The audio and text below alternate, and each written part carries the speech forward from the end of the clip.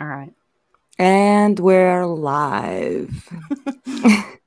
we're just we're just parachuting in. No intro, no nothing. Good evening, everyone. Welcome to the ward.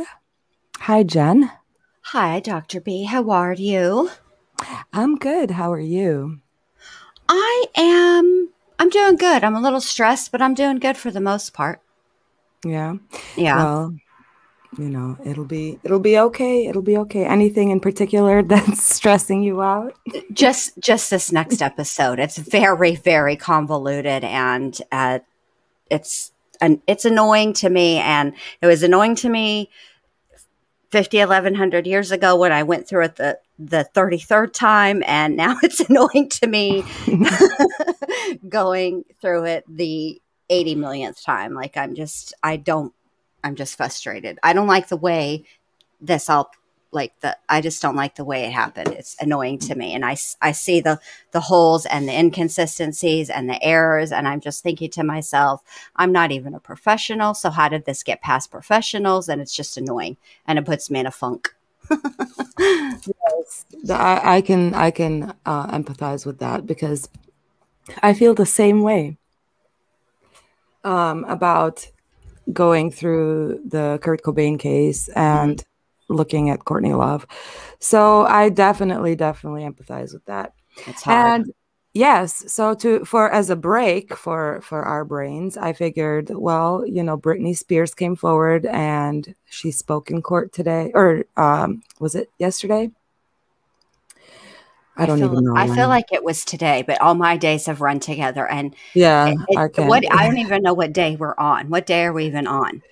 I don't know. It's somewhere between 11 what is 50 1100 and 11 billion. yeah, that's it's about how I feel. That's about right. yeah. So yes, so she spoke out, and we have um, we have the audio from that um, from that court hearing, uh, and I also prepared an article that we can kind of look at afterwards. But the other reason why I wanted to talk about this is because Courtney Love has been quite vocal on her social media in support of Britney, and of course, um, you know who who isn't on the Free Britney uh, side. Come on now. Yeah. But but it seems a little disingenuous. Yes. And uh, so I wanted us to listen to Britney Spears' experience from her own word, from her own mouth. And then I wanted to go back and look at some of Courtney Love's social media posts okay. Uh, re- regarding this topic. And then we'll revisit, um, you know, some blasts from the past, like uh, Sam Lutfi and his role in all of this. How does that sound, Jenn? Sounds like a plan, Stan. Let's do it. Awesome. Well, just want to also quickly say hi to everyone in chat. Welcome. Welcome. Hi, Renee. You're uh, the real MVP. Amelia. Hi, Tiffy. And Bill Jones. Welcome. Welcome. Mama Molson Bear. Man, Mama Bear, everyone. Hi, the analyst. Welcome, welcome. Melissa Jade. Yes, Renee says we need to do lives more often. We really do. We do. And we will. We will be better we about it. We're we're um both of us are working like on two different things and it tends to um we we we tend to isolate that way we're talking to each other, but we don't have the urge to go live because we're Hi, like, Stephanie. it will take away from the you know episode we're trying to put together or whatever. And it's just we're, we're, it's a work in progress. We're learning balance. The analyst says she's so plastic you can use her like a credit card and charge her. Oh my, oh my. hey team psych ward I'm kind of salivating over those breakfast burritos I have in the oven. That oh. sounds good. Sounds better than the cleaning fumes you had going on this morning. Yeah, for real. ah. Molson Man, welcome. Molson Man, we're going to do, the, I think we're going to do yes. um, part two of No Sweat Andy as Dr. B calls him, or as I refer to him, Handsy Andy, uh, Friday. I think we're going to get, we're going to get back to doing roasts on a regular basis because yes. it's needed for, for us. It's good to laugh. Very Sometimes you just so. gotta laugh. And we already have a pretty lengthy list of contestants. Mm-hmm. So we've we we've been getting requests too. So as a matter of fact, I'm gonna put our email to scroll at the bottom, all fancy like that. Oh, look how fancy! Pinky's up. Where's my teapot? It's uh it's you know in England. oh. I don't know. I can't. Those are not my traveling clothes. I didn't Hi, travel. That's my traveling attire, not my party clothes. Obviously, I couldn't have been there. Yes. Um, obviously, wasn't me. Correct. So I just want to say hi to Unjustified is in the house. Unjustified. Um, hey, hey, hey. Hey, girl. Welcome, hey. welcome. So good to see you. Stephanie, welcome, love. So good to see you tomorrow, Friday, in or in three more weeks. okay, block her. That's enough. Uh, tomorrow, Friday, rude. Mama Bear. Oh crap! Wrong comment. Hi, Beth. Oh gosh, so good to see you. Has been a while. Uh, okay, Rhonda says Britney's dad has enslaved her for 13 years. Wasn't slavery abolished in 18? Actually, let me uh, demystify something about slavery. It actually has never been abolished in the United States. Did you know that? Yeah, because if you really read the fine print on the 13th Amendment, you'll see.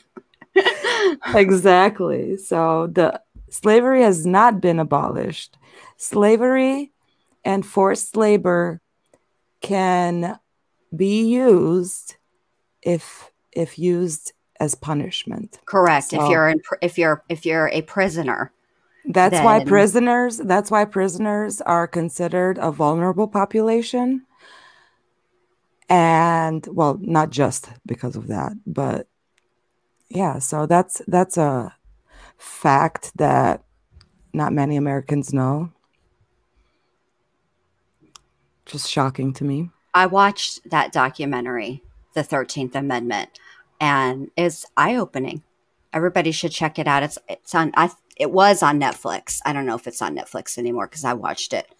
It's been a yeah. long time. Or I would recommend also reading the new Jim Crow. Uh, mm-hmm. Alex, Alexander, oh, I forgot her name. I have to look it up. But yeah, so yes, that is uh, that is the truth. Um, all right, let's hi made by Tiffany B. All right, let's should we begin? Let's play I will be honest with you. Oh, sorry. Let's play the clip of uh Britney's statement. Yes, let's. All righty. I will be honest with you. I haven't been back to court in a long time because I don't think I was heard on any level when I came to court the last time. I brought four sheets of paper in my hands and wrote in length what I had been through the last four months before I came there. The people who did that to me should not be able to walk away so easily. I'll recap. I was on tour in 2018. I was forced to do. My management said if I don't do this tour, I will have to oh, find an attorney. Miss Beer, Miss Beer, um, I just I hate to interrupt you, but my court reporter is taking down what you're saying. Okay. And so you have to speak a little more slowly. Oh, oh of course, yes. Okay, and, I apologize. And Great. Everything you're saying. Okay. Sure. Now, um, the people who did this to me should not get away and to be able to walk away so easily. Recap I was on tour in 2018. I was forced to do. My management said if I don't do this tour, I will have to find an attorney, and by contract, my own management could sue me if I didn't follow through with the tour. He handed me a sheet of paper as I got off the stage in Vegas and said I had to sign it. It was very threatening and scary, and with the conservatorship, I couldn't even get my own attorney. So, out of fear, I went ahead and I did the tour. When I came off that tour, a new show in Las Vegas was supposed to take place. I started rehearsing early, but it was hard because I'd been doing Vegas for four years and I needed a break in between. But no, I was told this is the timeline and this is how it's going to go. I rehearsed four to four days a week, um, half of the time in the studio and half of the other time in a Westlake studio. I was basically directing most of the show with my whereabouts where I preferred to rehearse and actually did most of the choreography, meaning I taught my dancers my new choreography myself. I take everything I do very seriously. There's tons of video with me at rehearsals. I wasn't good, I was great. I led a room of 16 new dancers in rehearsals. It's funny to hear my manager's side of the story. They all said I wasn't participating in rehearsals and I never agreed to take my medication, which my medication is only taken in the mornings, never at rehearsal. They don't even see me. So why are they even claiming that? When I said no to one dance move into rehearsals, um, it was as if I planted a huge bomb um, somewhere. And I, I said, no, I don't want to do it this way. After that, my management and my dancers and my assistant of the new people that were supposed to do the new show all went into a room, shut the door, and didn't come out for at least 45 minutes. Ma'am, I'm not here to be anyone's slave. I can say no to a dance move. I was told by my at the time therapist, Dr. Benson, who died, that my manager called him in that moment and told him I wasn't cooperating or following the guidelines in rehearsals. And he also said I wasn't taking my medication, which is so dumb because I've had the same lady every morning for the past eight years give me my same medication, and I'm nowhere near these stupid people. It made no sense at all. There was a week period where they they were nice to me and they said, I don't want to do, and I told them I don't want to do the um they wait no, they were they were nice to me. They said if i don't want to do the new vegas show i don't have to because i was getting really nervous. I said i can wait. It was like they told me i could wait. It was like lifting literally 200 pounds off of me when they said i don't have to do in the show anymore. Because it was i was really really hard on myself and it was too much. Um, i couldn't take it anymore. So i remember telling my assistant but you know what? I feel weird if I say no. I feel like they're going to come back and be mean to me or punish me or something. Hmm. Three days later, after I said no to Vegas, my therapist sat me down in a room and said he had a million phone calls about how. Oh, by the way, the notification sounds and the background noise is not me. It's part of the video. Sorry. I was not cooperating in rehearsals and I haven't been taking my medication. All of this was a false. He uh, he immediately the next day put me on lithium out of nowhere. He took me off my normal meds I'd been on for five years, and lithium is a very very strong um, and completely different medication compared to what I was used to. You can go mentally impaired if you take too much if you stay on it longer than five months. But he put me on that, and I felt drunk. I really couldn't even take up for myself. I couldn't even have a conversation with my mom or dad really about anything. I told them I was scared, and I, my doctor had me on six different nurses with this new medication come to my home, stay with me to mm-hmm. monitor me on this new medication, which I never wanted to be on to begin with. There were six different nurse, nurses in my homes, and they wouldn't let me get in my car to go anywhere for, for a month. Not only did my family not do a goddamn thing, my dad was all for it. Anything that happened to me had to be approved by my dad, and my dad only he acted like he didn't know that I was told I had to be tested over the Christmas holidays before they sent me away when my kids went to, home to Louisiana. He was the one who approved all of it. My whole family did nothing.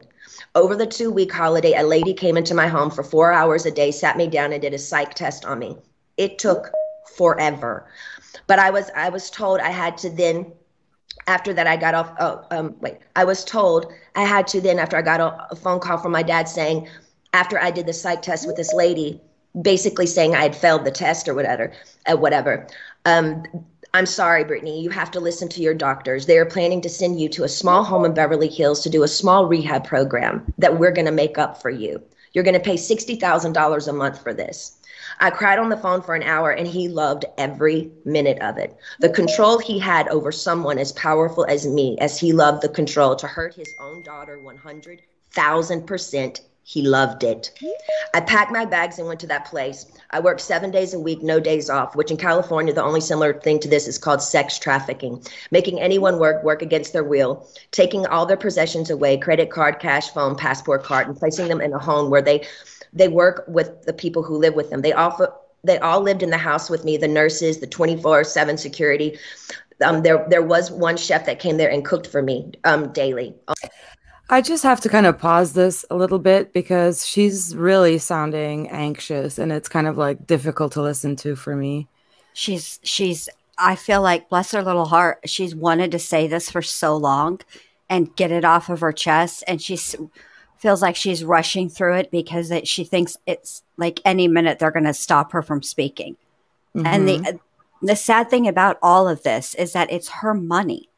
She mm-hmm. paid mm-hmm. these people on her dad's, you know, her on her dad's say so, on her dime to be a prisoner and a slave. And you know, it, it really, it really is difficult for me to listen to as a mental health professional and to hear how, how, um, how you know how how there's so many doctors especially in, in the celebrity world and the and the hollywood world who I don't I don't know. Like how do you how do you go along with this? I, I just I don't understand. It's Yeah, I don't I don't either. I don't understand how a a doctor, especially just because they're mandated reporters, number one, but even before being a mandated reporter, they take an oath to first do no harm.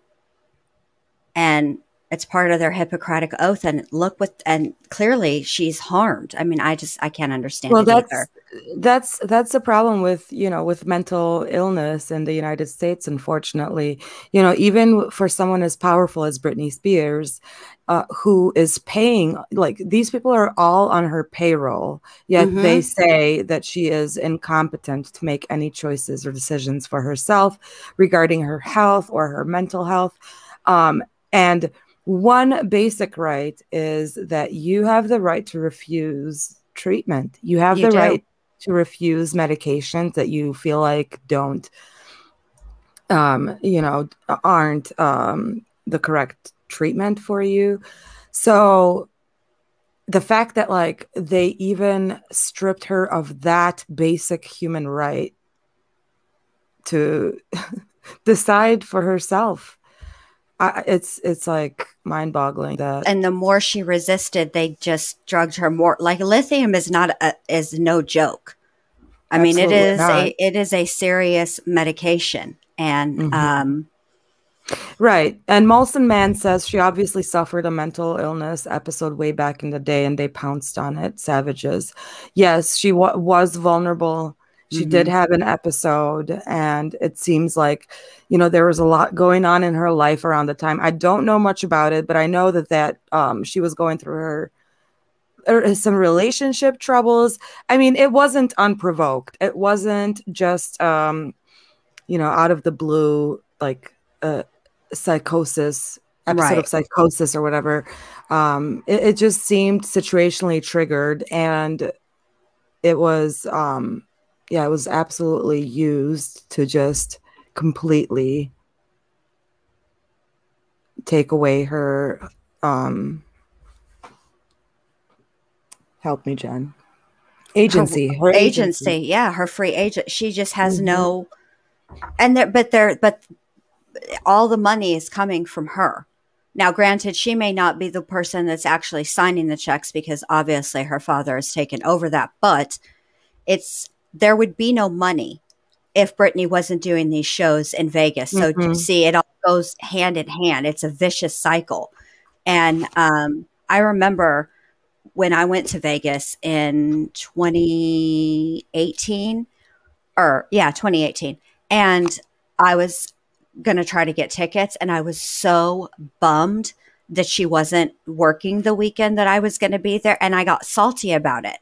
But then now I'm hearing like t- I was like, how could she, how dare she not be working? But now I'm hearing her side of things, and I'm like, now I, I mean, and I only said like it as a flip remark. I wasn't serious about it, but now just even making that flip remark, I feel bad. Like I, you know, I feel like, oh, Jenn, what's wrong with you? Why are you so judgy? So yes. Rude. Well, for for those of you who are in here and who are also following our Kurt Cobain coverage, uh, this is important because simul- as you listen to Britney, for me anyway. So this is my first time hearing it, so I'm going to be reacting as we go. But as I listened to the first part of her statement where she was talking about how they made her do this tour and made her sign things and whatnot, you know, it really, really parallels what my understanding is of what Kurt Cobain was going through in the last few months of his life. And that is you have a gang of these executives who all want a piece of the pie.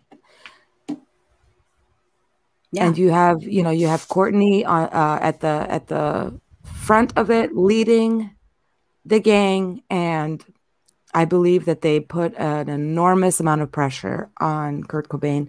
And Britney even said, "Oh, we're gonna send you to a rehab for a couple of days. It's sixty thousand a month, you know, that you need for sure." So these decisions are being made for her. Um, and I think that was what was happening with Kurt Cobain as well. And he resisted and he resisted until, you know, mm-hmm. it became a problem. So let's let's continue. Let okay. me know. Yeah, let me know if if we need to pause again. The, during right. the weekdays, they watch me changed every day, naked, morning, noon, and night. Um, my body. I had no privacy door for my um for my room. I gave eight gallons of blood a week. If I didn't do any of my meetings and work from 10 um eight to six at night, which is 10 hours a day, seven days a week, no days off, I wouldn't be able to see my kids or my boyfriend. I never had a say in my schedule. They always told me I had to do this. And ma'am, I will tell you, sitting in a chair 10 hours a day, seven days a week, it ain't fun and especially when you can't walk out the front door. And that's why I'm telling you this again two years later. After I've lied and told the whole world I'm okay and I'm happy, it's a lie. I thought I just maybe I said that enough. Maybe I might become happy because I've been in denial. I've been in shock. I am traumatized. You know, fake it till you make it. But now I'm telling you the truth, okay? I'm not happy. I can't sleep. I'm so angry, it's insane, and I'm depressed. I cry every day. And the reason I'm telling you this is because I don't think how the state of California can have all this written in the court documents from the time I showed up and do absolutely nothing, just hire with my money another person to keep and keep my dad on board. Wow. Ma'am, my dad mm-hmm. and anyone involved in this conservatorship and my management who played a huge role in punishing at me when I said, no, ma'am, they should be in jail. They're cool tactics working for Miley Cyrus as she smokes on joints and stage at the VMAs. Nothing is ever done to this generation for doing wrong things. But my precious body, who's worked for my dad for the past fucking 13 years, trying to be so good and pretty, so perfect when he works me so hard, when I do everything I'm told in the state of California, allowed my father, ignorant father to take his own daughter, who only has a role with me if I work with him. They set back the whole course and allowed him to do that to me. That's giving these people I've worked for way too much control. They also threatened me and said if I don't go, then I have to go to court. And it will be more embarrassing me if the judge publicly makes go the, the evidence we have. You have to go. I was advised for my image, I need to go ahead and just go. Okay, so just also keep in mind these advisements too, but th- because that's that's kind of like the status quo in Hollywood, is these uh, entertainment lawyers that also you know come into play with the uh, Isaiah Silva case because these entertainment lawyers already know the name of the game. So you're just advised to basically you know get away with the least amount of damage. And i mm-hmm. think you know I, I, think it's preposterous preposterous. It's unbelievable. And get this it is, over with. this they said that to me. I, oh sorry sorry that's Jenn. all right. This isn't an isolated incident. I mean you look no. at look at look at prince. Rest his soul. Look look what happened to him. I mean he worked endlessly and tirelessly and was yes, man, yes, sirred to death. And that's what happened to him. Instead of, you know, his doctor saying, look, you, you cannot perform every single night for 20 years in no less than six inch heels and expect it not to take a toll on your body. Instead, instead of advising him to make changes and adjustments, all they did was throw pills at him. Same thing with Michael Jackson. Because he was so upside down due to the um, settlements and then the trial and all of that. And I'm not going to get into guilt or innocence because that's not even the point. It's just the, the fact of what happened.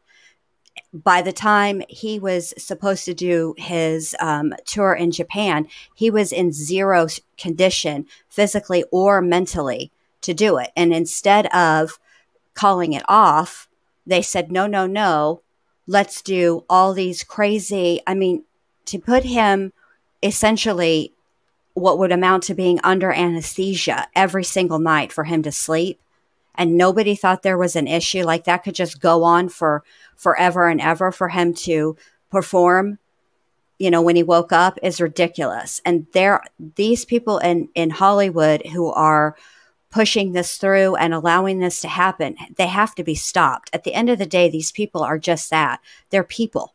And exactly. they're being exploited for money exactly. and it's disgusting. That's true. And i feel you know i feel bad for Britney because oh see it's it's it's so lonely. Like her voice is trembling but it must be it must be so lonely to live in that world. I mean you have all these people around you but you you can't turn anywhere. This is happening in the most public way possible. So it's it's just it's eye opening.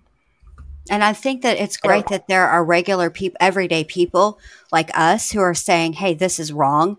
And I think it's good when Hollywood stands up for one of their own, but not you, Courtney. You sit down. We don't need your help.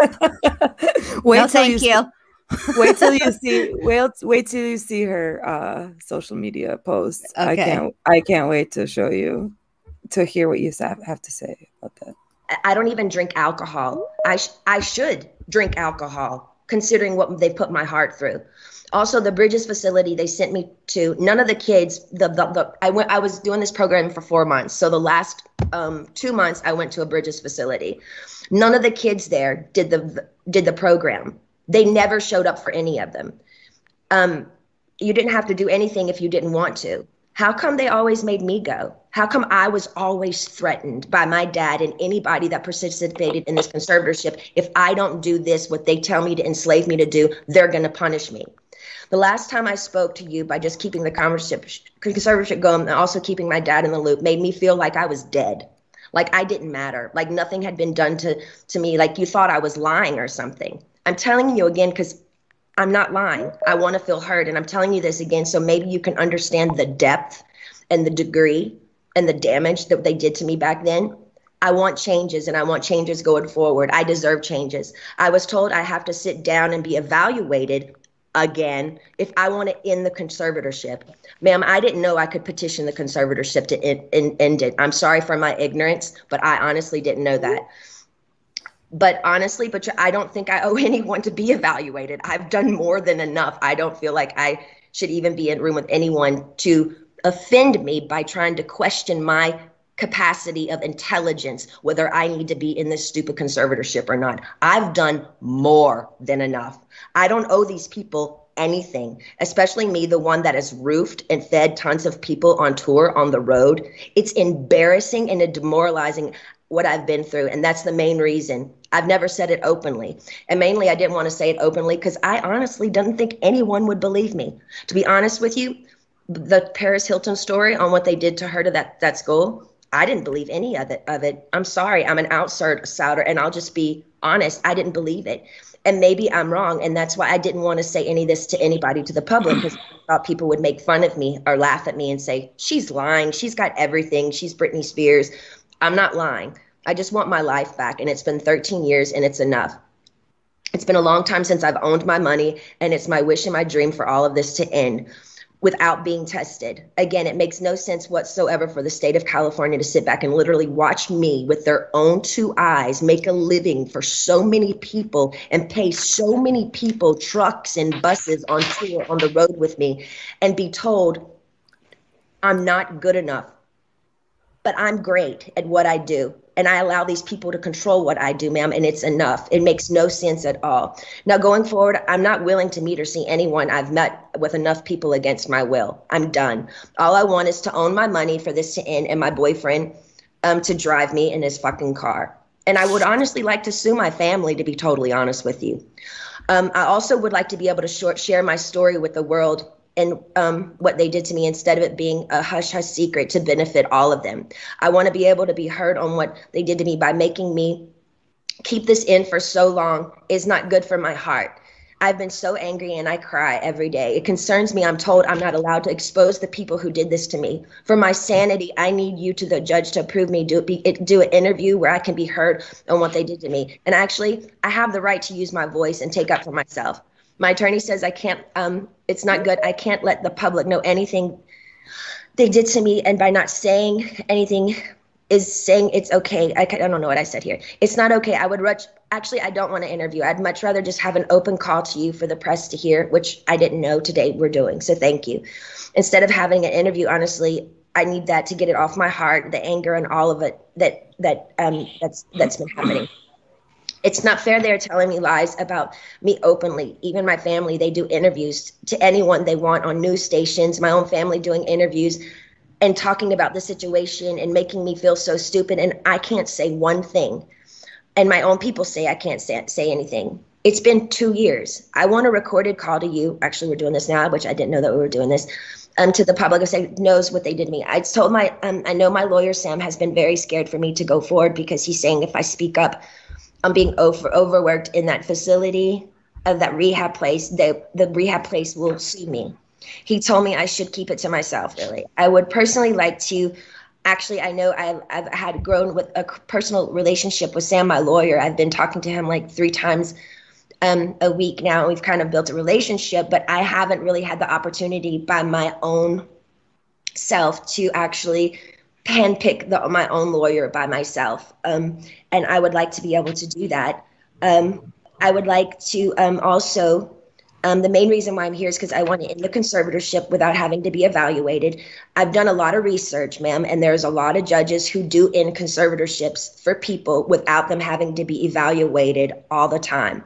The only times they don't is if a concerned family member says something's wrong with this person and consider um, and other otherwise. And considering my family has lived off my conservatorship for 13 years, I won't be surprised if one of them has has something to say and go forward and say, "We don't think this should end. We have to help her." Especially if I get my fair served in turning exposing what they did to me. Also, I want to speak to you about at the moment my obligations which I personally don't think at the very moment I owe anybody anything. I have three meetings a week I have to attend no matter what. I just don't like feeling like I work for the people whom I pay. I don't like being told I have to no matter what, even if I'm sick. Jodi, the conservator, says I um, I have to see my coach Ken even when I'm sick. I would like to do one meeting a week with a therapist. I've never in before, even before they sent me to that place, had two therapy sessions um, a therapy one a therapy session and one therapy session with um, my I have a doctor and then a therapy person. Um, what I've been forced to do illegal in my life, I shouldn't be told I have to be available three times a week to these people I don't know. I'm talking to you today because I feel again, yes, even Jodi is starting to kind of take it too far with me. They have me going to therapy twice a week and a psychiatrist. I've never in the past had wait, they had me going yeah, twice a week and my Dr. Gold. So that's three times a week. I've never in the past had to see a therapist more than once a week. It takes too much out of me going to this man I don't know. Number one, I'm scared of people. I don't trust people with what I've been through. Okay, huge. I have to stop. huge red flag. Oh, so right? she can't. She can't choose her own like doctors.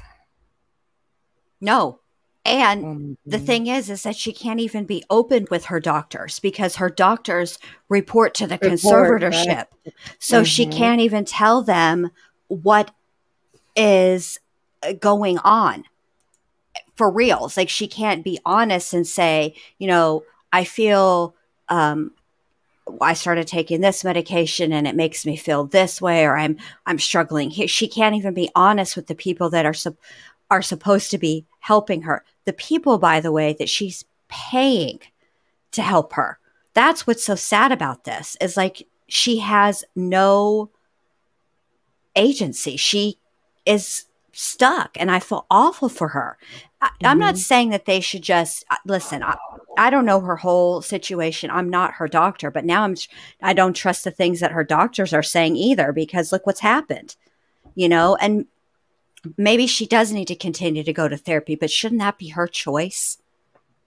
Well, she's not trying to say she doesn't want it. Yeah. She's, she's saying she's being forced to go three times a week. So, um, what did she? I'm trying to look at the transcript.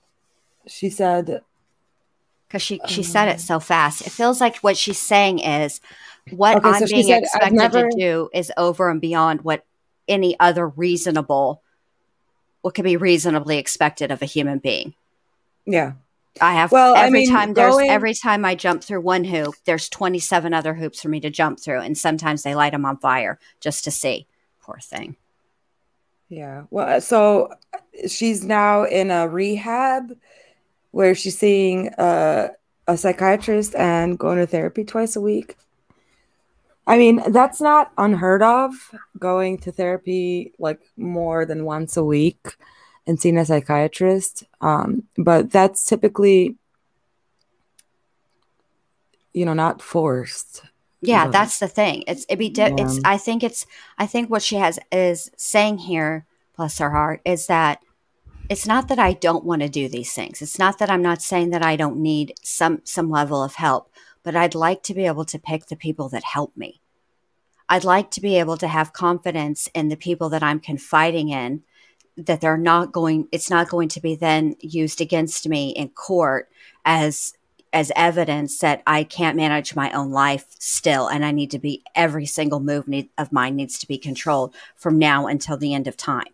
I think that's really what she's trying to say. But just it sounds so bless her heart. It sounds so rushed because I feel like they she feels like she's going to be stopped. She's got to get it all out before they stop her. Yeah, well, but also, you know, like rapid speech is also a symptom of mania too. So, mm-hmm. but I'm, you know, I'm just saying that out there throwing that and, out there. And it but, happens um, too when you're anxious. know her baseline. Yeah, and it happens too when you're anxious. You start, you know, talking faster when you're anxious because, you know, but if, I feel bad for her. I don't know that it's anxiety as much as it's anger. She that is too. clearly upset and there's you know there's it's a it's a special kind of of um anger when when you have your rights taken away from you. Mm-hmm. Now, I will say this: I I've heard lots of interviews with Britney over the years. I've never heard her sound this way ever. She does. It's a plea. She's pleading with court mm-hmm. at the same time as being angry. You know, like why the heck are you not listening to me? Mm-hmm. When are you going to listen to me? When is it going to be enough? How many yeah, more like, hoops you know, bless her heart. What is going on in California? What is up with these judges? What is happening in that court system? And the clever setup of being in Westlake, one of the most exposed places in Westlake, which today, yesterday, paparazzi showed me right coming back. out of the place, literally crying um, in therapy. It's embarrassing and it's demoralizing. I deserve privacy when I go I deserve privacy when I go and have therapy, either at my home, like I've done for eight years. They've always come to my home, or um, when the Dr. Benson, the guy, the man that died, um, I went to a place similar to what I went to in Westlake, which was very exposed and really bad. Um, okay, so wait, where was I? In Westlake, it's I. It was identical to Dr. Benson, who died, the one who illegally, yes, 100% abused me by the treatment he gave me too. And to be totally honest with you, I was so. Excuse me for interrupting you but my reporter says if you could just slow down a little bit, because she's trying to make sure she gets everything that you're saying. Okay, cool. And so if you could, so okay. that would be great. Um, I have been through, and the clever step in Westlake is identical to Dr. Benson, who died, the one who illegally, yes, 100% abused me by the treatment he gave me. And to be totally honest with you, when he passed away, I got on my knees and thanked God. In other words, mm-hmm. my team is pushing with, pushing it with me again. I have trapped phobias being in small rooms because the trauma locking me up and for four months in that place is not okay for them to send me. Sorry, I'm going fast to that small room like that. twice a week with another new therapist I pay that I never even approved. I don't like it. I don't want to do that. And I haven't done anything wrong to deserve this treatment. It's not okay to force me to do anything I don't want to do. By law, at by law, Jodi and this so-called team should honestly, I should be able to sue them for threatening me and saying, if I don't go and do these meetings twice a week, we can, we can't let you have your money and go to Maui on your vacations. You have to do what you're told for this program, and then you will be able to go. But it was very clever. They picked one of the most exposed places in Westlake, knowing I have the hot topic of the conservatorship that paparazzis are going to show up and get me crying coming out of that place. I begged them to make sure that they did this at my home so I would have privacy. I deserve privacy. The whole conservatorship from the beginning, once um, the conservatorship, oh, the conservatorship from the beginning, once you see someone, whoever it is in the conservatorship, making money, making them money and myself money and working that whole that whole statement right there the conservatorship should end. There should be no i shouldn't be in a conservatorship if i can work and provide money and work for myself and pay other people. It makes no sense. The laws need to change. What state allows people to own another person's money and account and threaten them and saying you can't spend your money unless you do what we want you to do and i'm paying them Ma'am, I've worked since I was 17 years old. You have to understand how thin that is for me. Every morning I get up to know I can't go on somewhere unless I meet people I don't know every week in an office identical to the one where the therapist was very abusive to me. I truly believe this conservatorship is abusive. And now we can sit here all day and say, oh, conservatorships are here to help people. But ma'am, there's a thousand conservatorships that are abusive as well. I don't feel like I can have, live a full life. I don't owe I don't owe them to go see a man I don't know and share him my problems. I don't even believe in therapy. I always think you take it to God. I want to end the conservatorship without being evaluated. In the meantime, I want this therapist um, once a week. He can either come to my home. Um, no, I just want him to come to my home. I'm not willing to go to Westlake and be embarrassed by all these paparazzi the scummy paparazzi laughing at my faces while I'm crying, coming out and taking my pictures as all these um, white, nice dinners with people drinking wine at restaurants, watching me leave these places. They set me up by sending me to the most exposed places, places, and I told them I didn't want to go there because I knew um, paparazzi would show up there. Um, uh, they only gave me two options for therapists, and I'm not sure how you make your decisions, ma'am, but this is the only chance for me to talk to you for a while. I need your your help. So if you can just kind of let me know where your head is. I, I don't really honestly know what to say, but my requests are just to end the conservatorship without being evaluated. I, I want a petition basically to end the conservatorship, but I want to I want it to be petition to end it, but I don't want to be evaluated and be sat in a room with people four hours a day like they did me before. And they made it even worse for me after that happened. So I just I, I, I'm honestly new at this, and I'm doing research on all these things. I do know common sense and the method that things can end. It for people, it has ended without them being evaluated. So I just want you to take that in consider- consideration. I've also done research. Um, um, wait, also took a year during COVID to get me any self care methods during COVID. She said there were no services available. She's lying, mom. Ma'am, my mom went to the spa twice in Louisiana during COVID. For a year, I didn't have my nails done, no hairstyling, and no massages, no acupuncture, nothing for a year. I saw the maids in my home each week with their nails done d- different each time. She made me feel like my dad does, very similar, her behavior, and my dad, but just a different dynamic. Team wants me to work and stay home instead of having longer vacations. They're, they you they are used to me sort of doing a weekly routine for them, and I'm over it. I don't feel like I owe them anything at this point. They need to be reminded they actually work for me. They trick me by sending me to the. Okay, I repeated myself there. Um. Okay. Uh, um. Also, I was supposed to be able to. Um, have a friend that I used to do AA meetings with. I did AA for two years. I have like, you know, um, I did three meetings a week. You know, I met a bunch of um, women there, and I'm not able to see my friends that li- live eight minutes away from me, which I find extremely strange. Um, I, I feel like they're making me feel like I live in a rehab program. This is my home. Um, I'd like for my boyfriend to be able to drive me in his car. Um, and I want to meet with a therapist once a week, not twice a week. And I want him to come to my home because I actually know I do need a little therapy. um, I was told, um, um, hold on.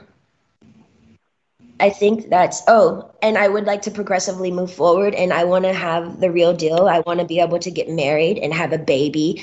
I was told right now in the conservatorship, I'm not able to get married or have a baby. I have a um, IUD inside of myself right now so I don't get pregnant. I wanted to take the IUD out so I could start trying to have another baby, but this so called team won't let me go to the doctor to take it out because they they don't want me to have children any more children. Um, so basically, this conservatorship is doing me way more harm than good. Um, I want, I deserve to have a life. I've worked my whole life. I deserve to have a two to three year break and just you know do what I want to do. Um, but I do feel like um, there is a crunch here, and I feel like um, I feel open and I'm okay to talk to you today about it, but I I wish I could stay with you on the phone forever because when I get off the phone with you, all of a sudden, all of I hear I hear all these no's, no, no, no, and then all of a sudden I get I feel ganged up on and I feel bullied and I feel left out and alone, and I'm tired of feeling alone. I deserve to have the same rights as anybody does by having a child, a family, any of those things, and more so. Um, and that's all I wanted to say to you. And thank you so much for letting me speak to you today.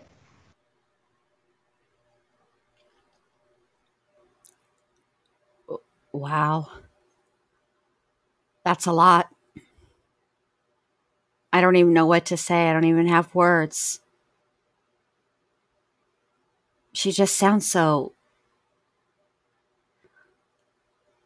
sad and urgent, like she just is begging for help. And it's really hard to listen to. It's really hard. I don't know what you have up on the screen, Dr. B. Because you're also muted. Oh, I see. See, I didn't know. Everybody, everybody's favorite. Let's let's let's let's hear what old uh, Courtney Love let's hear some pearls of wisdom for her from her. I'm sure she has a ton. I'm sure she's the fortune cookie of the Instagrams today. Let's hear it, Courtney. Yeah. So she posted this and it's uh it's an Instagram story, I believe. I'm not on like I'm I'm not a big social media, but I think this is Instagram, right? Uh and- close it, make it a little yeah, that that looks like Instagram. Right? Yeah. So she's sharing a screenshot of a text message um, from someone. It says, Hey, Court, Jesus, man, I don't know what to say. You told me, and I'm so sorry. I never knew. I guess I didn't believe you. I'm sorry. And I'm disgusted and depressed just listening to Britney speak. We definitely will be going after TriStar big time. I owe you, sis. And she says, Courtney Love responds, uh, Thank you, or follow the money. Thank you. And then the next one is Courtney, I'm in tears. I'm so fucking sorry you went through this. What? Is there something in the news? No, just hearing Britney speak about everything she's gone through and you dealt with all the same players. It's just heartbreaking. So that's uh, one post. And uh, another one she put up there was uh, oh my, someone told her, Oh my God, this is disgusting. We're so sorry. We believe you now. So here's her rant 24 minutes in 13 years. Was it the IUD, which I mentioned, enforced birth control, the lockdown in Holmby Hills, Dr. Benson, lithium, Judge Penny shutting off audio for live tweeting after 23 minutes? LOL. Judge Riva didn't hand her job to, to just any judge. Do me a favor. Don't apologize. Follow the money. 24 minutes in 13 years. Rolling her eyes, vomiting, praying, broken heart. Samantha Stark and Britney stands and only what? Them are the heroines here. No one else had heard us ever. Now you're all sorry. Go fix it. Bye. So clearly, oh, we have Courtney. We have a, a miscommunication problem here. mm, clearly, clearly, but she does Do leave us with a really good pearl of wisdom. Follow, the, follow money. the money, and mm. we shall, Courtney. Yes, we shall. Mm, we have been. Mm-hmm. we will continue. yeah. So now she's saying, you know, this whole boohoo me too, blah blah blah. Yeah. So, wh- can you just break it down for us, Jenn? What is the difference between uh, the people who are around court, uh, Britney Spears' life versus the same quote unquote players that were in Courtney's life? What is the difference there? Well, uh, in Courtney Love's case, she hired these p- players, if you will, to use her words, of her own free will where where Britney Spears has had these players foisted onto her with no choice. She had no say. Mm. She had mm. no uh she she she wasn't a part of the decision making. Mm-hmm. Where Miss Love would be she Miss Love is trying to liken herself to Courtney or to uh to Britney in that she's a a puppet Okay. But the truth of the matter is, Courtney Love is actually the one pulling the strings. It's very different. That's just what I see. Mm-hmm. Absolutely. Absolutely. Absolutely. So, yes, Courtney, you don't get to. Well, I think what she's referencing to, she had like she had a episode of what I describe as paranoia or whatever. I think it was maybe a mixture of paranoia and guilty conscience and drug induced life, mm-hmm. you know, um, where she was running around claiming that uh, $40 million were embezzled from her and from from Kurt Cobain's trust and everything. And again, keyword being running around. When when has Britney been able to run around? And I know that people are going to sort of feel some mm. type of way about Britney saying, you know, I didn't get my acupuncture, I didn't get my nails done, I didn't get my massages. Okay, it's all relative. What's wrong with that? Well, What's because it does that? sort like, of sound. I can I I can hear people, uh, and it sort of sounds like, oh, poor little rich girl. But that's their that's that's the wrong things to be focused on. Well, it, to, she has money and she should be if that's what she wants to spend her money on then she should be able to spend her money on that. It's all yeah. relative. It's no different than i'll give you a perfect example. Britney has her massages her nails and her acupuncture. Jenn has her coffee and her five hours okay I would feel if somebody restricted me and told me that I was not allowed to have my coffee and my five hour energy, it is no different than somebody telling Britney Spears she's not allowed to have acupuncture, massages, and her nails did. It's all relative. Her line in the sand is different than mine, but it's really the same line, just about different things. Yeah. I want to share. Um, I want to go back to Sam Lutfi because he's part of this whole thing as well. And I'm going to pull up the site. Hold on that, a second, Dr. Bate. Jenn uh-huh. Matson, I'm not saying that poor people don't get massages and get their nails done. It's just that the way that she said it, I can see how I always like to look at the other side of the coin and I can I can see how people would be like, "Oh, that's really what you're complaining about. But it, like I said, it's all relative. Everybody's creature comforts are different. And for any, for somebody to come in and take those away from a human being is wrong, period. I don't care what her creature comforts are, as long as they're not illegal. I mean, you know, that's all I was trying to say. Yeah. So I've pulled up a link that uh, um, Tom Grant shared with me back a couple of months ago when we talked about the um, Silva case. And this is a link that he shared with me. I don't know if the if this is public back on his website or not, but he has given me permission to share this. So um, this is from the case that we already talked about, where you know Courtney's being sued for kidnapping and attempted murder. Well, this is from Sam Lutfi. These are the recordings of Sam Lutfi. And uh, Tom Grant says, We have been furnished with legally recorded audio conversations between Courtney Love's good friend, Sam Lutfi, and former girlfriend of Frances Bean's uh, estranged husband, Isaiah. Now, Isaiah's former girlfriend, Jessica Sullivan, is also the mother of Isaiah's seven year old child. To this day, Jessica and Isaiah remain very close friends. After Isaiah had informed Jessica about his kidnapping by Sam Lutfi, these conversations were recorded by Jessica in compliance with the California Penal Code section blah, blah, blah. Soon after she made these recorded conversations, Jessica and her girlfriend Tila went to the Hollywood substation of the Los Angeles Police Department where they attempted to turn over the recordings to the police. Quote, this involves a high profile case with harassment and threats and a kidnapping, Jessica told the officer at the front desk. Quote, well, there are a lot of people ahead of you, the officer responded coldly. You'll have to wait about eight hours.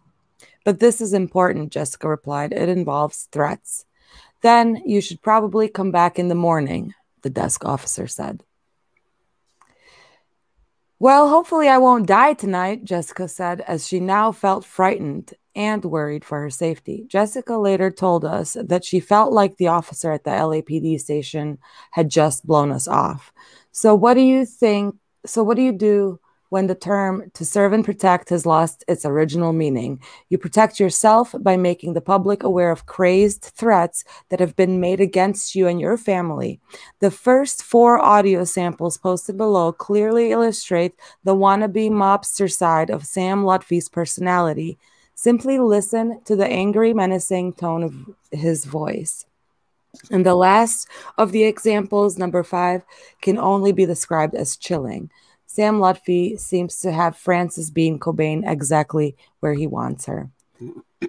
okay, so the entire recording is 45 minutes long. More of these recorded conversations may eventually be made public, but for now, this is what we have. So the first recorded, this is Sam Lutfi, who was Courtney Love's friend and whom she filed a restraining order against only after, only after Isaiah Silva filed uh, a um, charge or a lawsuit against her and Lutfi and several others for kidnapping and attempted murder and so on and so forth. So this is Sam Lutfi. This is a guy who Courtney Love hired and who she's now turning around pretending to be a victim of. Mm-hmm. Okay. Okay. So so yeah, just it's ridiculous. Enjoy. Are we? What have I ever done to you? Oh, here we go. Can you hear it? yeah, yeah, yeah, yeah, yeah. Oh, sorry. no, no, no. We can hear. It. I just was. I wasn't prepared to hear it. Oh, I'm sorry. No, it's it's me. Don't say sorry. It's just I'm not on my game tonight. Yeah, no, I don't blame you, but I think, um, yeah, this is a loaded topic for real. It is. It is. And what I I also want to say that I I I I feel like that little snippet that I commented on is going to be used by her family and also the media, and it will be twisted because we don't have ethical. There are still some journalists who have ethics, and they they they you know re- mm-hmm. report responsibly. But most but by and large it's no longer ethical and it's about whatever makes the money and whatever brings in the headlines. And if, if you think about it if you're wanting to keep her in control what are you going to tell the media? Look at the list of things that she complains about. Is it really that bad? That's the game that these that that happens in the press. It's yeah. no different than let's take Courtney Love and Kurt Cobain. Look at the rumor that was repeated over and over and over, even though as fact, even though it wasn't true, that he you when they saw him laying there, nobody would have ever known that it was Kurt Cobain because his face was destroyed. And that was a flat lie. And it was mm-hmm. repeated mm-hmm. and repeated. And not only was it repeated oh, on I have M- to show you something. Okay. Not only was it repeated on MTV, right? It then then from mainstream, then mainstream media picked it up and they repeated it. And this is how it goes. And it's we as consumers of the media have to start holding these people responsible to report accurately and ethically and stop trying to just go for the most, you know, sensationalized headline that they can. All right, I'm off my soapbox because my back hurts now. Yeah, I have to show I have to show this image that okay. um quite frankly I actually plan to use in something that I've been working on. Okay. Give, give me one moment. Okay. Do you need to do you need to check your photos? I got to check my pictures. it's been a it's been like a million years. I've got thousands of pictures I got to go through. Yes. So this was a painting. Oh. yeah. Yeah. Yeah. But uh, I mean, this this isn't the one that I wanted to show actually. This is the wrong one. Damn it. There was another one that clearly demonstrates Kurt Cobain's face being completely like blown off, and that painting was making its rounds um, in different museums and whatnot. Um, so yeah, just another, just another like trick to make people believe that you know he was he blew his brains away. Mm-hmm. But then at this at the same token, like on, on the same oh, at the same time, she's also then, you know, protecting the autopsy report like a snake protects its legs. You know, is that is that a Bosnian saying? Because can you recognize it? yes, it is. Krije kozmia noge. Exactly. Because because snakes don't have any legs. Exactly. Um, but you know, she endorses things like that and way, way more oh yeah um, uh, intrusive privacy stuff than uh, you know, what could possibly be revealed in mm-hmm. the autopsy report. So I think right. that's just but yeah, let me get back to Lutfi because now I'm I feel myself drifting. Okay. All right. Sorry, so, I always take you off into the weeds because I'd be getting on a soapbox and then I'm then I run out of steam because my back starts hurting and I got to climb down off that thing and you know I'm just just not as spry as I once was. Yeah, well, same here, girl. Same here. okay, let me put us back on this. So let's listen to sample okay. one. Okay. What have I ever you done to Frances? What have I ever you, done to Frances? You, what have you ever done to Frances? Yeah. You're stabbing her in the back. You think you're fucking smart? You think that this is going to work for you? Do you have any idea what type of people you're dealing against? Are you stupid? Be her friend right now. Side with her. You want a future? She's got money to fucking take care of you and your wife and your child to the day you die. I don't Why want anyone to take care of me and my girlfriend and my daughter. So that's one. You die fucking bitch, whore fuck. You are fucking in the streets. I don't scare you. Don't worry about me. My lawyers and the police are after you. So fuck you, you fucking dirty kite. And Tom Grant uh, comments, we have to wonder how Lutfi's so-called quote feminist friend Courtney Love feels about her buddy screaming sexist, condescending, condescending gay profanities to the young mother of Courtney's once step granddaughter. He's disgusting. He's mm-hmm. disgusting. Let's this is the going. kind of tapes you hear like mm, on the ID channel from an abusive husband, you know, and then they show, and, and the, the wife is dead. And they, you know. Well, that's that's kind of where because look, patterns are not for nothing. Correct. Uh, the only the the only cash cow that well, I don't want to say that, but this is with all respect to Frances Bean, one thing that I want people to to be 100% clear on that I am in no way, shape, or form trying to attack Frances Bean whatsoever. It's quite opposite. I am concerned for Frances Bean because some of the things that we are seeing unfold and, and that we're seeing happening before our eyes are the same things her father has been subjected to and has been to with these weird people and characters who don't mm-hmm. belong anywhere around. Are you normal? Correct. like you have to wonder okay, this person is obviously hired by her mother. And mm-hmm. if he is saying this uh, and it's intended to be on behalf of Frances Bean, how far is it to, to wonder were these things used on Frances Bean? This is who he is as a person. And if he's around her. Oh, no. You know what I mean? Him, but Courtney. If well, you correct. remember.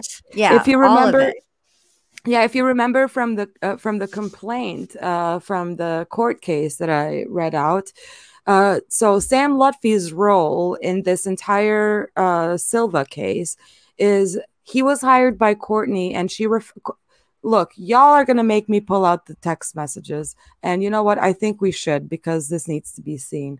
But Courtney uh, refers to him as her bulldog and you know he kind of like takes care he makes her problems go away is exactly what she says in in courtney's words.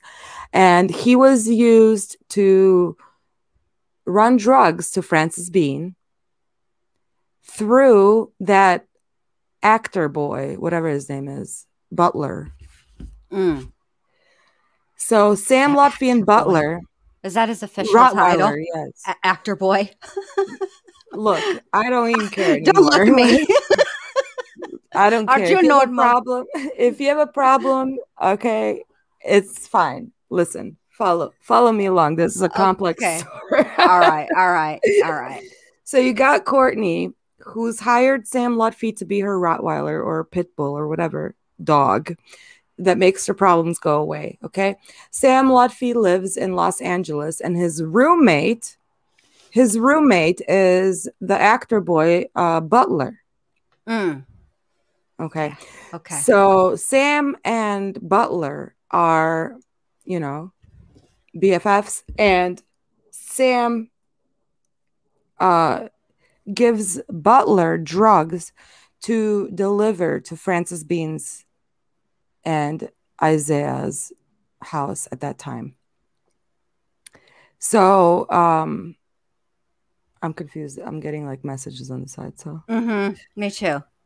so, stop um, distracting the talent who can't take it.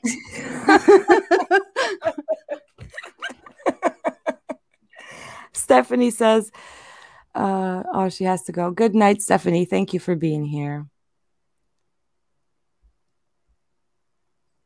Okay, I'm confused. So yeah, so um, basically that's Sam Lutfi, and and um, only after, only after, you know, the lawsuit was filed, that's when Courtney started taking her distance. But, you know, shortly before the lawsuit came along, you know, Lutfi, Lutfi's social media still to this day, he's got, you know, he's got her up on on his um Instagrams and whatever's. So, but yeah, let's let's let's just get through this. Here's number three. Your kid will be in an orphanage. I'm going to put you away. I'm going to put your fucking little boyfriend away. Laugh all you want. I swear to God, you fucking dirty whore. You're going to be in the streets where you belong. I swear to God. Then just be smart. You want I am smart. You want you know want to know what? I, hey Sam, Sam. Tell you, me. you want to know? You want to know who I'm siding with? The truth, honesty. That's what I'm siding with. You want to know the truth? You want to know the truth? I already know I the truth. You can't handle I the truth. your ex's house 12 months ago. Good. That's how Frances got out. Okay? Cool. The truth is, everything that was bugged for the first nine months was not legal to use in court. Boom. And illegally bugging people's houses is something that he's on tape. I mean, I know it's not tape. I'm old school. He is re- being recorded admitting to crimes. Yeah. Yeah. You need a you need a new you, you need a new uh what does she call him? Guard dog. Yeah, he filling up the cookie jar. That's right. That was their code word, by the way. The cookies were drugs, and Mm. cookie jar was the spot. The spot. Okay, and uh, Tom Grant's notes. He says Sam Lutfi is foolishly admitting to the commission of a crime here, and he's bragging about it. It would have been illegal for Lutfi or anyone else to bug that house, even if one of the residents had given him permission to do it. And if both residents had given permission, which they didn't, they would also have to tell any visiting guests that their conversations were being recorded. And uh, the last sample. All Jesse wants is to sit down with Frances and, and so they can talk. They care about each other. Frances is too unstable to handle this. Exactly. She signed over Frances, Uh, did you hear that? Yes, Frances is too unstable to handle this. Are you a doctor? But uh, okay, let, to me. all Jesse wants is to sit down with Frances and, and so they can talk. They care about each other. Frances is too unstable to handle this. Exactly. She signed over Frances, the authority to me. Oh, I She missed that signed- last part. Okay, I see. Yeah. Oh my. Sorry. She signed over the authority to me. So, in addition to the disastrous Britney Spears and Amanda Bynes connections to Sam Lutfi that ended in multiple restraining orders, Lutfi has also tried to establish relationships with Lindsay Lohan and Michael Jackson's teenage daughter, Paris Jackson. This Lutfi creep, I just love Tom. I can't. He's just, Just says it like it is. yeah. Tell it, Tom. This Lutfi creep seems to gravitate towards vulnerable female celebrities. So, why should anyone care about this? Because no one wants to see a future headline in the news that reads Kurt Cobain's daughter found dead of a drug overdose, or Frances Bean Cobain commits suicide just like her father. Wouldn't that be a little too convenient for Courtney Love and her good friend Sam Lutfi? Is there a new album in the works? live through this again. Mm. So Sick burn, two- Mr. Grant. Sick Ah, burn. He is savage. Part two, illustrating the current direct connection between Courtney Love and Sam Lutfi as it relates to the Isaiah Isaiah Silva's kidnapping case and Sam's excessive bullying. So, whoa. To begin part two of the Sam Lutfi files, I would like to respond to the above page six article. Oh, we're not gonna read. The title is extremely misleading. Sure, the headline is an attention getter, and that's really what news editors want. However, let's get real here. This is not about the battle for Kurt Cobain's guitar. That's just the way this magazine simplified a more complex and potentially dangerous issue. This is about harassment, extortion, and serious threats against a young lady with a seven year old child and her extended family. Of course, we expected Sam Lutfi to have some excuse for his angry threats and his screaming, thug like tone of voice in the recorded conversations, but we would have never expected his excuse to be so very lame. It seems like. I'm sorry. I. I mean, he just gives a good read. I'm not even going to lie. My hat's Oh. off to you, Tom Grant, because uh, nobody appreciates a good church read like yours truly. They're not easy to do. Oh yes. Um, one second. One second. A- uh, the analyst said, "Oh, thank you. Yes, she sent a picture that I was looking for. Thank you so much, the analyst. You you know exactly what I'm talking about. See, we learn to read each other's minds here in these streets. Okay, so now I'm gonna have to remove this again for a second because I really want you to see this. All right. It's it's really um,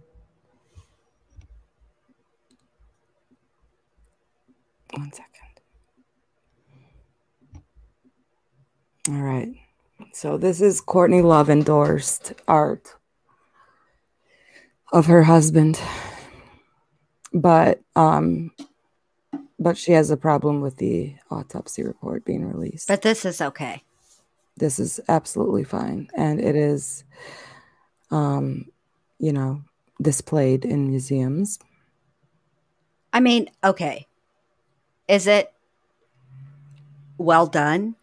If if I, it, yeah, it's it's it, well. First of all, to be fair, it is absolutely inaccurate. It's an inaccurate portrayal of the scene. Well, correct, but as far as art goes, it's actually a very, it's actually a very good, in my opinion. I well, can appreciate yeah, but... it. Although, I, I mean, if if this is like if we were back in um I don't know, whenever they used to do paintings of scenes instead of being able to take photographs. Okay, this is clearly not one for the history books. This is not an accurate representation. And if, mm-hmm.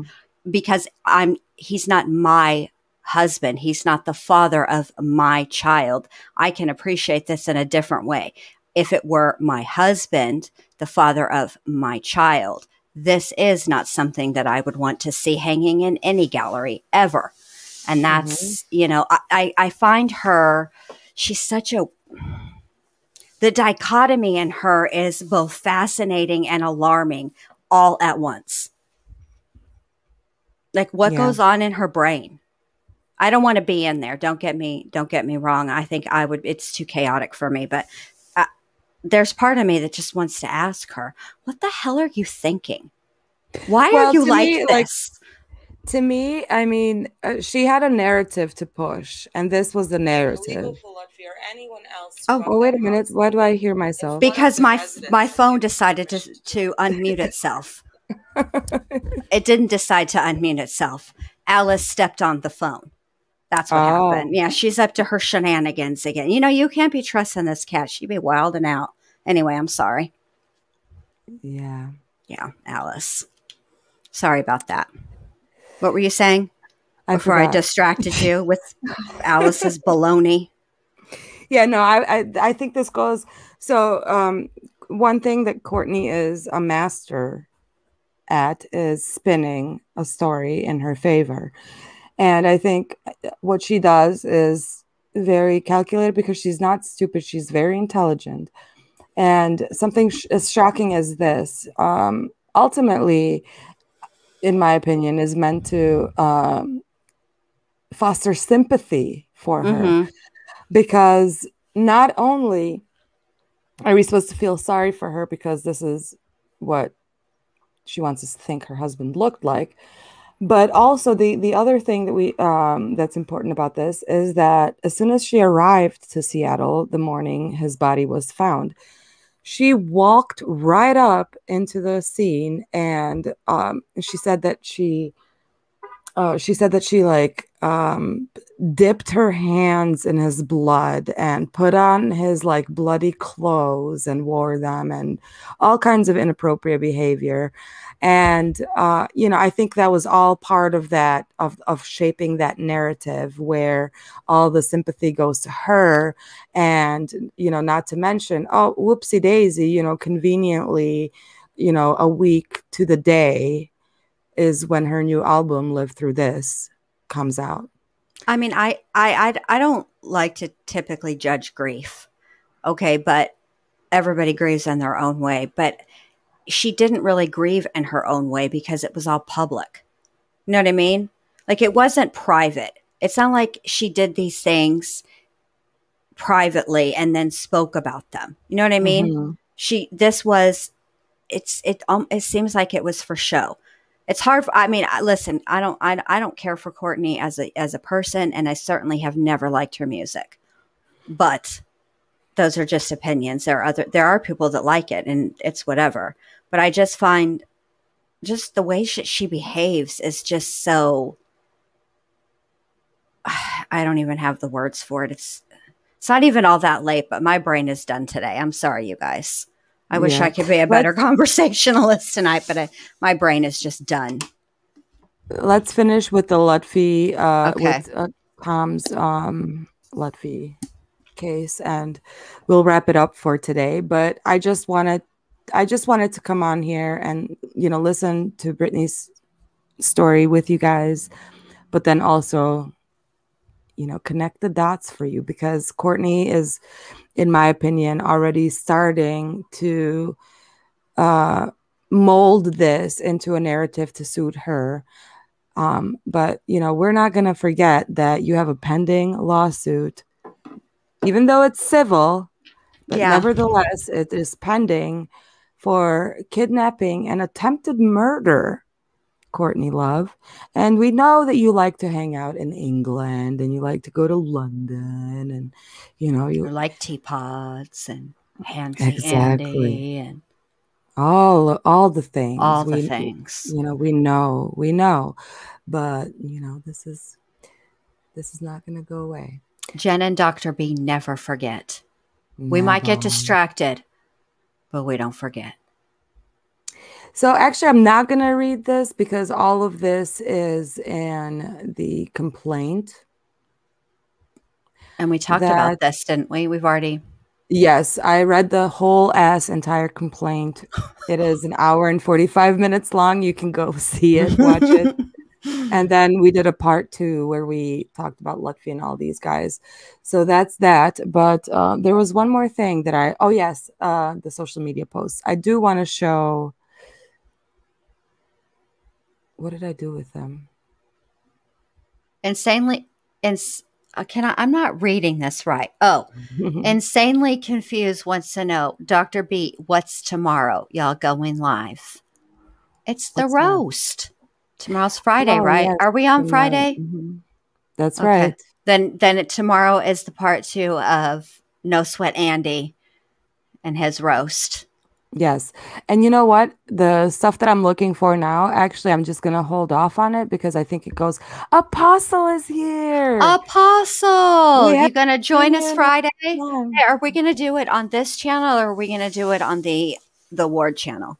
We will do it on the Ward channel. So okay. tomorrow's so yes, tomorrow's roast we're going to be doing on our sister channel, the Ward case studies. So um, I, I'll post it on our community page here at this channel, so you get a notification or however that works. But okay. yes, tomorrow we'll be doing the roast on our sister channel.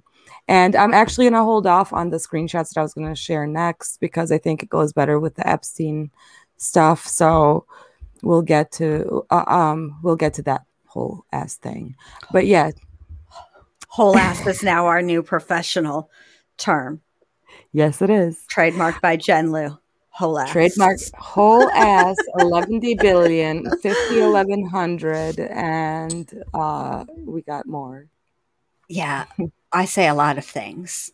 What I say the other day, and I, oh, geez, a Lou. and somebody said I'm stealing that, and I was like, who, who, said that? And she's like, you did. I don't be paying attention to stuff I say that cut like the crazy genisms that come out of my mouth aren't even planned. They just come out. I and I love them. I love them. It's the magic that is me. it is. Apostle says, as a token of my depreciation, I may, but I am judging a spelling contest. well, listen, Apostle, we cannot do a roast without you in the comments cheering us on and giving us sage life and legal advice. You have to be there. We can't do it without you. You're part of the team unofficially, but we need you. Absolutely. So, yes, so I think I got what I had to across tonight, which was number one, Britney Spears. That's so messed up what's happening. I hope they do free Britney Spears. It's been way overdue and and uh, too long. I hope the judge listens to her. So that's number one. Number two, no, Courtney, no. You do not get to ride the coattails of Free Britney. You are not a victim.